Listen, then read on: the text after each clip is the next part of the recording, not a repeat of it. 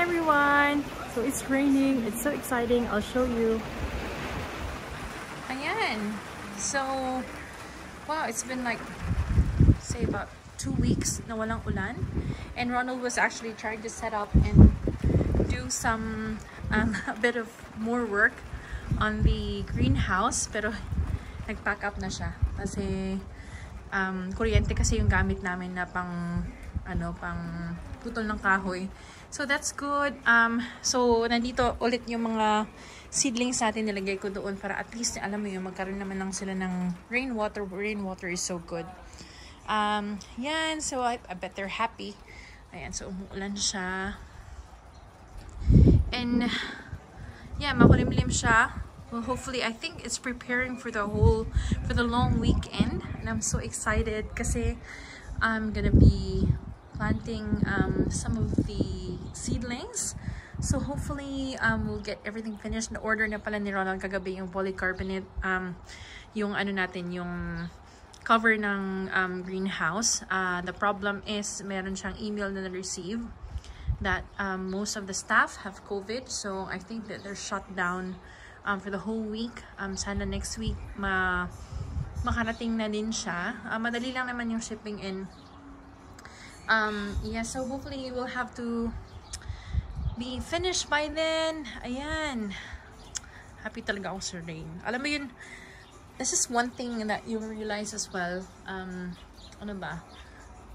Uh, one thing that I've realized is when you go and venture on things that are, you know, part of nature, actually you get to appreciate more of life. Because like yung rain, if hindi ako nag-plant, nag-start na mag-plant, I wouldn't appreciate rain that much. Although I love rain, but not as much as, you know, like you wanting it to arrive or wanting it to come. Um, so, ayun, little small things in life. Um, ayun, medyo ngongo ako kasi parang may post-nasal drip ako and nagsa-start yung throat kong mag maging masakit. Anyways, that's it. And Luffy, ano naman si Luffy, napakalaman na naman yung mga seedlings niya yan. Luffy?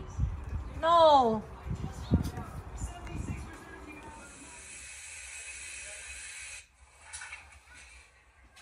Ayan, umuulan kasi so magtutupi na lang kami. magtutupi ka na lang, Han?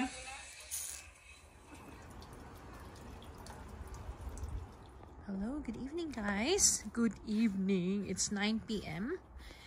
I'm just checking kasi lagi na lang may kumakain sa mga halaman ko. So, every night, nag-check ako ng mga slugs. I'll show you one. Yan. Gaya niyan. Yan. Um, yan. Yung nasa may flashlight na yan. Slugs yan. Yan. Kinakain niya. Sarap na sarap siya, oh. Maghanap pa tayo ng isa, ha. Yung medyo malaki-laki. Pakita ko sa inyo. Um, kasi ka, yan. Yan. Slugs yan annoying slugs. Yan yun yung kumakain ng mga halaman sa gabi. So, lalabasin mo yan mga bandang 8. Makikita mo kung anong mga pinagkakabalahan nila dito. So, kukunin ko lang sila at titirisin ko kasi inis na inis ako kasi pinaghirapan ko to. Ayan pa, may baby pa oh. Kita niyo yan? Yan. Focus. Ayan. Yan siya yung nasa flashlight. Yan. Okay, so, patayin lang natin sila kasi nakakainis sila, naiinis ako. Okay, good night. Right, so, ipakita ko din sa inyo ang mga nakakainis. So, these are part of the challenges talaga. Um, so, I'll show you one. Annoying one. Saan ba yan? Okay, so, dito tayo banda. Yan, nakikita nyo. Yan. Those are snails. Nag-anuhan ng flashlight. Snail yan. Yan. So, yan yung mga malakas din kumain ng mga dahon. Ayun. Yan. So, annoying sila, diba? So, annoying. Yan.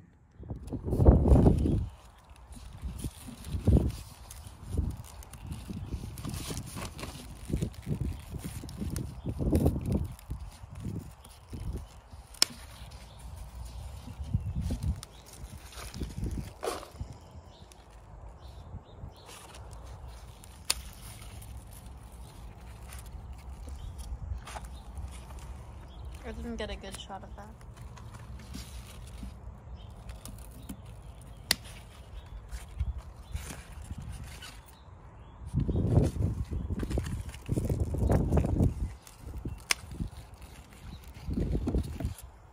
Turning it on.